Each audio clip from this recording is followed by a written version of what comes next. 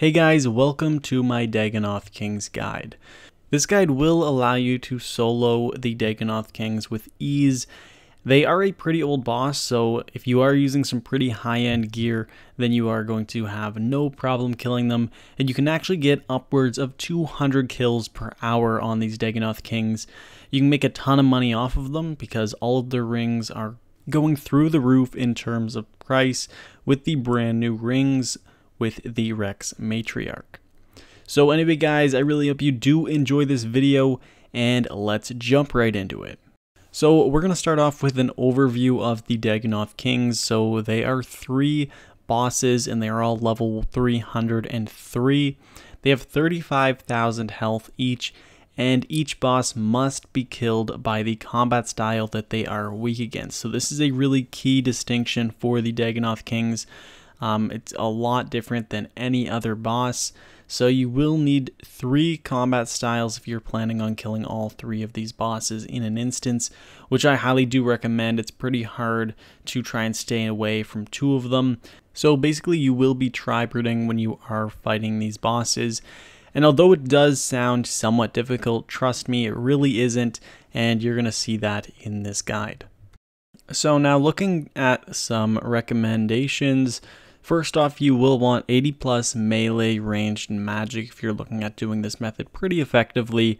Um, those are some pretty basic stats just to have if you want to um, kill them pretty efficiently. And then also 92 prayer with soul split is essential if you're looking at doing this method at really high kills per hour. You're going to need that heal because um, they actually do deal quite a bit of damage against you.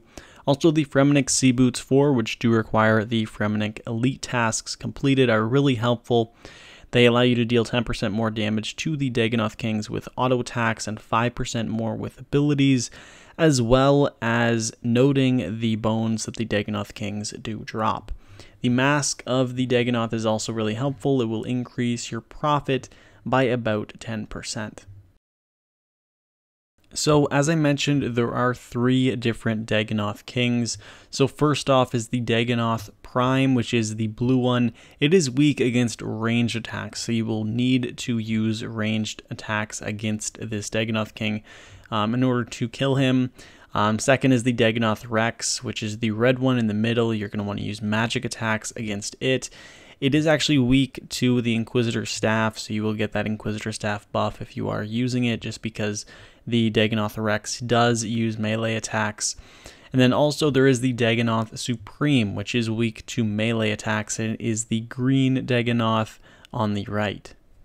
Now moving on to the gear setup. So this is a really important part. So as you guys can see, I do have three different combat styles on me. Um, in my gear, I am using a Noxious Scythe as well as my Masterwork body and legs. So that's for my melee. And then I also do have the Seren Godbow along with the uh, Animacore of Zamorak. That's my ranged weapon. And then I have my Pernix and my Inquisitor Staff for my magic gear along with my rune pouch. Now, one thing to keep in mind, if you don't have a Seren God bow, just use any other uh, weapon. You will need to bring some arrows or some ammunition for it, and that's just another thing that you will have to switch um, in and out. Um, if you are using a large rune pouch, you can just have it in your inventory rather than uh, having it uh, equipped to you just so you don't have to keep on switching the rune pouch and the arrows. Also, my gear is fairly high end. You can fight these bosses pretty easily with lower gear. Um, you'll just want to bring your best melee range and magic gear with you. I recommend only bringing the weapon, the body, and the legs. Um, now, in your uh, helmet slot, the best thing that you can use is the mask of the Dagannoth. So, if you are wearing the mask of the Dagannoth, um, you will get an additional drop for every 10th kill. So that's why you're going to want to be wearing it. You're basically going to be getting an extra drop every 10th kill, which will increase your GP per hour. It also does um, add extra damage against Dagannoths, so it isn't even weak in that way. Um, so that's why you're going to want that in the helmet slot. Uh, as for the glove and boot slot, it really can be anything. I recommend Cinderbane gloves. Um, they're really great to use. They also have that poison effect to them, and they aren't really that expensive to repair either. Um, so those are a really nice um, item to have. And then in the boot slot, I just have my crystal boots. But for that slot, you really can have um, any hybrid boots. I'm also using the Blood Necklace of Fury and my Luck of the Dwarves. Um, as you guys can see, I do have an Enhanced Excalibur as well as some overloads, some super restores. Um, I have one Saradomin Brew just in case of emergencies. Then I am also bringing some magic notepaper. This is a really good idea to bring if you're looking at picking up the Dagannoth bones or even the Dagannoth hide. Um, I do have some emergency food and then one Dagannoth King's teleport tab um, just to go straight to the lair. Um, you can also use a PVM hub teleport um, if you want to do that instead. Now, probably one of the most important things you guys will need to do is go into your settings. Um, you're going to want to go to the combat and action bar tab. Um, and then you're in your action bar binding tab. This is really important to have set up. So as you guys can see, my ranged two-hand weapon in the first slot, um, it is binded to uh, slot number three of my action bar. So for example, when I do equip my Seren Godbow, my action bar is going to switch to uh, the third one, which is my ranged two-hand action bar. So this is really helpful when you are swapping your combat styles, when you are fighting the Dagannoth Kings. Um, it's basically going to be needed if you're looking at getting some high-end kills per hour. So that being said, make sure you have all your action bars ready and just bind them to the correct weapon before going. So now I'm just going to go through a few kills with you guys just so you guys can see what it's like. So first off, if you are using the teleport tab, you are going to end up here. Just run to the end of this cave and uh, you'll see some rocks here. You're going to want to jump over them and then you can start an encounter by right clicking on the ladders here.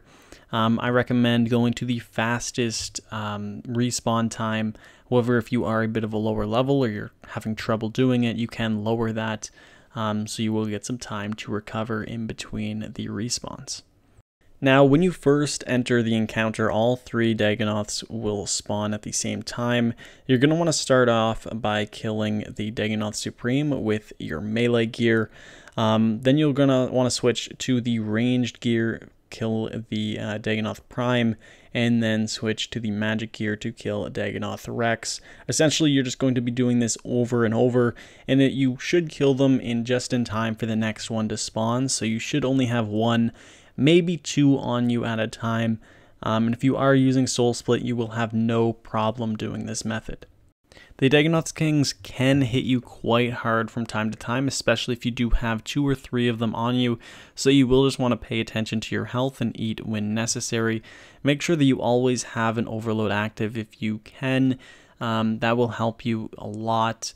Um, just so you won't take as much damage. You'll also kill them a lot faster, so it is really helpful when you are doing this method. In terms of an aura, as you guys can see, I'm not using an aura, but um, any damage increasing aura would be helpful, or the vampirism aura if you're kind of struggling with these bosses. Um, but overall, that is it. If you are using this gear setup, you should have no problem with the Dagannoth Kings, and you'll kill well over 200 per hour, which will allow you to make just insane amount of money right now. Um, and basically, that is it. I'm to let this clip run just so you, so you guys can see some footage of me actually killing the Dagannoth Kings and maybe take a few tips from it.